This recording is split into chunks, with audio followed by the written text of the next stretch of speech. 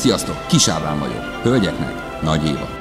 A nemrégűen megjelent Szűtyjő című könyvemet más könyvekkel ellentétben én bizony ajánlom villanyszereléshez is. Ne adj Isten bankrabláshoz. Azoknak ajánlom, akik szoktak takarítani. Természetesen a bicikliseknek is. A kosarasoknak, hát nekik főleg.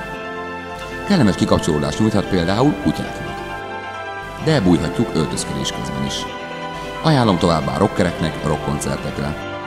De végül és utolsó sorban ajánlom olvasáshoz. Olvasáshoz és olvasáshoz. Szütyjű. Decembertől a könyvesboltban.